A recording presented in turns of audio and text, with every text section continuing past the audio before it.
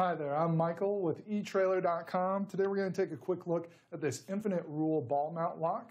This is going to replace the standard pin for your Curt Rebellion XD adjustable ball mount. So you can see here we've got one pin still left in place and then I've already switched out the other pin for our InfiniteRule lock. Uh, so this is going to fit right in place of the original pin. Uh, you can see it sticks out just a little bit farther. Uh, but other than that, it is going to be pretty much the exact same, but it is going to provide uh, that extra security to make sure that no one can come along, pull our clip and pins out and take off with our trailer and anything that we have loaded on it. So it is going to be uh, much more secure for us uh, as we are towing with our trailer. And this is made of a heavy-duty stainless steel, so it's going to be very uh, durable and uh, strong. It's got a shear strength of 42,000 pounds. You can see our grooved pin head uh, is going to be very easy to grab and work with. Uh, we do have our weather-resistant tethered dust cap here that's going to help keep water and debris out of our keyway so we don't have to worry about anything getting in to the lock core there. Our lock core is going to uh, be a turnstile, so rather than just a single like quarter turn, uh, which can easily be picked, this is going to require us to continually turn the key, so it's going to be a lot more theft uh, resistant. Then it just comes off like that, allows us to slide it in, get it locked up, pull it out if we need to adjust the height of our head. Uh, so very easy to use.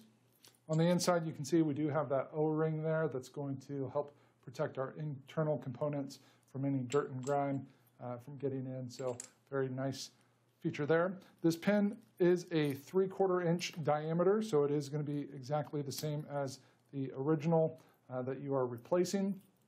Our inside pin length, uh, or our span here, where we're going to have this uh, connected to our ball mount, uh, is right at two and seven eighths of an inch.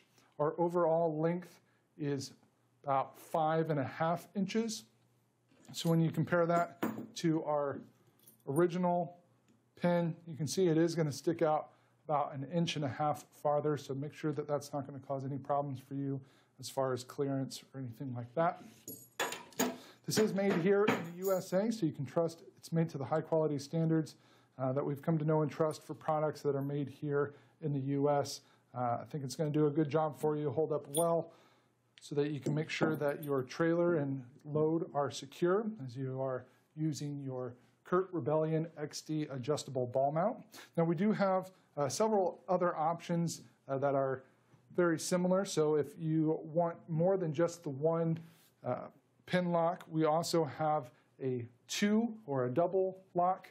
Uh, so rather than just having one uh, switched out, you would have both of the standard pins switched out for locks.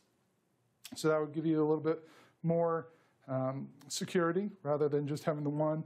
We also have a kit that will provide both those pin locks and a hitch lock so that you don't have to worry about someone coming along taking your whole uh, Rebellion XD off of your trailer hitch. So all three of those are keyed alike with that kit. So you just have uh, one set of keys that will work all three of them. So very easy to keep track of and that sort of thing. So if you are wanting a little bit more uh, security. We do have some of those other options available for you. But if you're just looking for the single lock, this is going to be a great option. It's going to do a good job of making sure everything is going to be secured.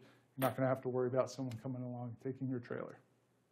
That's going to complete our look for today. Again, I'm Michael with eTrailer.com. Thanks for watching.